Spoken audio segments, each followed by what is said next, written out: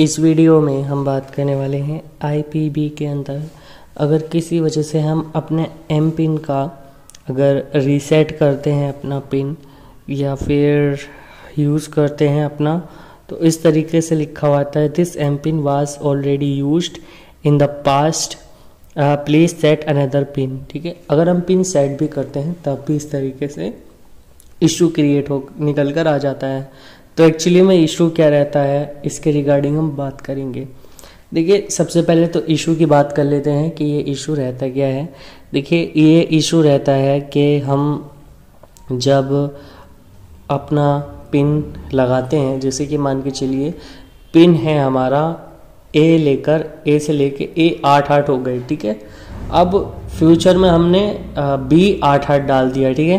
तो उसके बाद हम एक्चुअली में सी का फॉर्मेट डालना चाहिए हमें, लेकिन हम डालते हैं पास्ट वाला, यानी कि ए जो होता है ए का जो पासवर्ड हमने डाला था तो वो इस तरीके से दिखाने लग जाता है। तो जैसे कि मैंने आपको बताया कि हम पास्ट वाला जो एम पिन होगा, कभी हमने डाला होगा, जो मतलब पहले हम डाल चुके हैं, बना चुके हैं। बैंकिंग हर वेबसाइट पर यही सेम इशू क्रिएट हुआ हुआ रहता है। बैंकिंग की जो भी एप्लीकेशन रहती है, आप उसमें एक दफ़े बनाने के बाद दोबारा नहीं बना सकते। ठीक है? आपको हमेशा ही डिफरेंट बनाना पड़ेगा। तो ये रहता है इसका मैटर सारा का सारा। यहाँ पर आपको समझ में आ गया होगा। अगर देखिए समझ में आ गया है तो वीडियो को आप लाइक कर दीजिएगा और चैनल को सब्सक्राइब भी कर दीजिएगा। मिलते हैं अगली वीडियो में।